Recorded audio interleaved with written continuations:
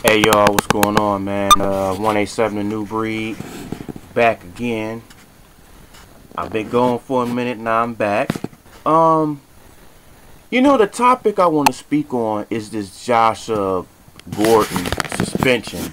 Um, and my thing is, and now the whole uh, NFL policy now with domestic violence, I think they give you, what, six months for your first uh, for the first offense on domestic violence, and then they give you a lifetime ban for it, which, hey, it is what it is.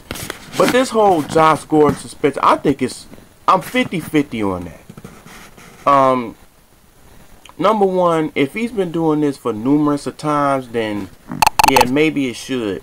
But my thing is, if you're going to give him a year suspension for smoking weed, but yet you give Ray Rice two games for hitting his chick. But we all know she wasn't gonna do nothing about it because she wanted that money. She knew he was a, he, you know, he was getting millions of dollars.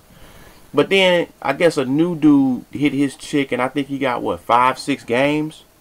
So the whole Josh Gordon suspension, I think, for for the simple fact that you gave Ray Rice a couple of games, to me is not only is it ludicrous, it's absurd. And I think and I think he should appeal this. But again, if he's been doing this if he's been doing this smoking weed thing for numerous of times, then I can understand that. But to give him longer than Ray Rice suspension is totally ridiculous to me. And it just it's really the no fun fun league for real. But you can't be smoking weed. You can't do no drugs. You know, I don't understand that. But Jameis Winston, the quarterback of Florida State, steals crawfish or crab legs or whatever it is.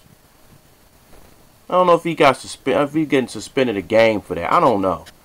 But I think he got suspended at baseball more than football, which, what a surprise that is. You know, and it's it's just the it's just the NFL is just it's definitely a no fun league. You you can't spike the ball, you get fined. You can't throw the ball to the goal post. What's up, Jimmy Graham? But you can't. It's no fun league, man. You it's almost like they want you to be a robot in the NFL. You know what I'm saying? And it, it makes no sense. Like you can't hit the quarterback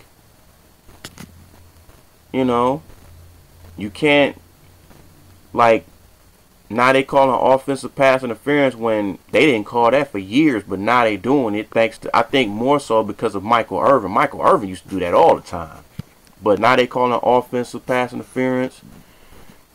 With the you can't do a bump and run on the defense. You can't do that. You know, they keeping a whole like how Seattle played last year. Oh, they definitely gonna really monitor defense now. So, you know, but hey, what can you say?